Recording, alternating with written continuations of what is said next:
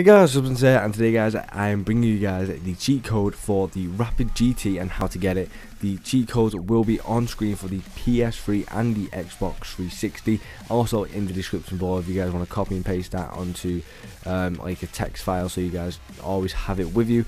And yep, that's really it guys. If you want to see more GTA tutorials and make sure to subscribe to my channel. I'm doing a hell of a load of tutorials in GTA showing you guys where to go and what to do to get this that and other things as well within GTA things for your character things for cars you know all that different types of stuff vehicles and everything.